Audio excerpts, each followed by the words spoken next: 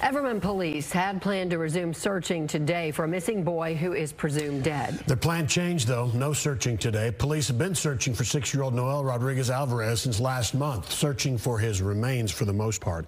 He's not been seen since last fall. Fox 4's Dionne Anglin has more on why the search was put on hold today. Dionne. Hi there. A change in plans. That is the best way to put it. Everman Police Chief Craig Spencer has called off a large ground, uh, uh, a large scale ground search for now. He says that time is being used or being devoted to analyzing data. Six-year-old Noel Rodriguez Alvarez is presumed dead. That determination as investigators work to make sense of his mother and stepfather's suspicious behavior.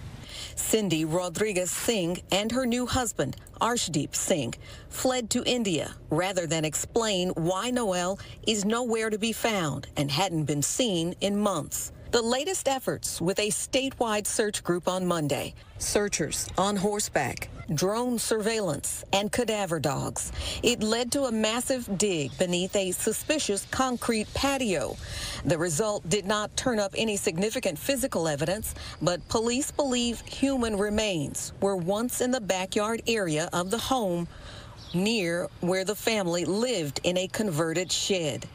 Early Friday, Chief Spencer released a lengthy statement explaining that efforts remain focused on finding Noel, but in a different manner. He states additional large searches were planned to be conducted this coming weekend. However, the data analysis has led investigators to change that plan, and we are not able to release specific details just yet. Now, the chief, after releasing that statement, has not been available. We uh, checked his staff, tells us that he has been in meetings all day uh, and that he will respond when he's able to.